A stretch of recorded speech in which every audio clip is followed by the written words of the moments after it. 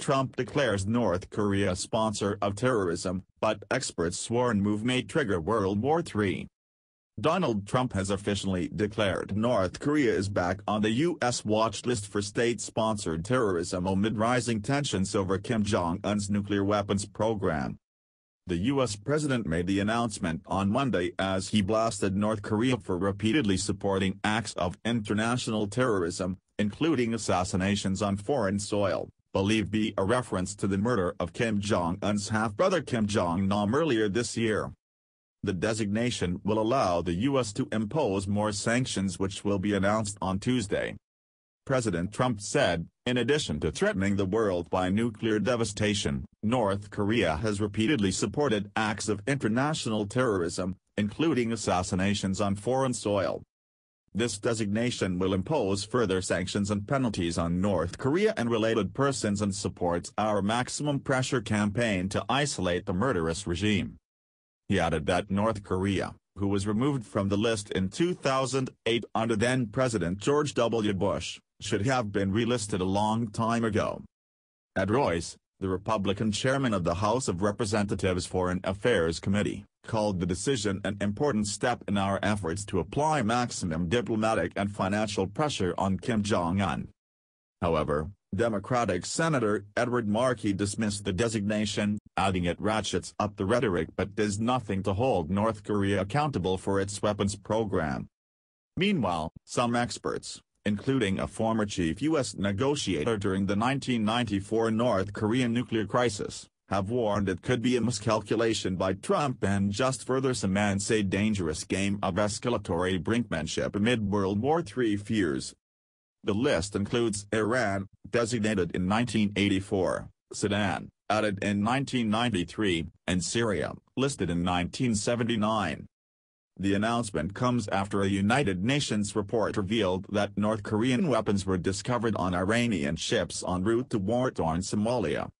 According to the report, the Iranian ship was smuggling machine guns from North Korea to arm militants in Somalia and Libya.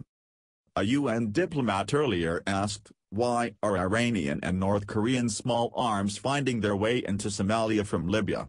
Do they date from before the arms embargoes against both North Korea and Iran? How did they get there from Libya?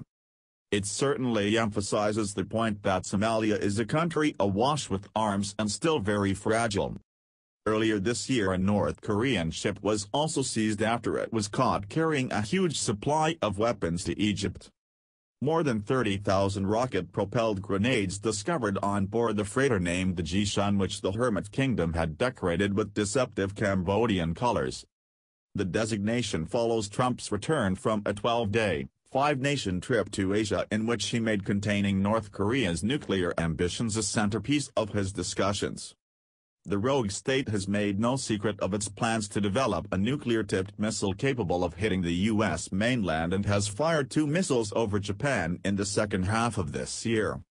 On September 3, North Korea detonated its sixth and largest nuclear test, which sparked an artificial earthquake with a magnitude of 6.3. Meanwhile, South Korea's spy agency said on Monday that the despotic nation may conduct additional missile tests this year to improve its long-range missile technology and ramp up the threat against the U.S. However, experts believe the state sponsor of terrorism designation will be largely symbolic as North Korea is already heavily sanctioned by the U.S. State Secretary Rex Tillerson added, the practical effects may be limited but hopefully we're closing off a few loopholes with this. In his announcement, Trump remembered Otto Warmbier, the college student from Ohio who died in June shortly after his return from North Korea, where he was held for more than a year. His death caused outrage in the United States and further inflamed tensions with Pyongyang but a U.S. intelligence official has warned that Trump's last move could backfire and escalate tension further amid fears nations are on the brink of triggering World War III. Speaking on condition of anonymity, the official said Kim could respond in a number of ways, including renewing missile or nuclear tests in a very volatile environment. The official added that the move also could also damage U.S. relations with China, who Trump has repeatedly been pushing to put additional pressure on the despotic regime.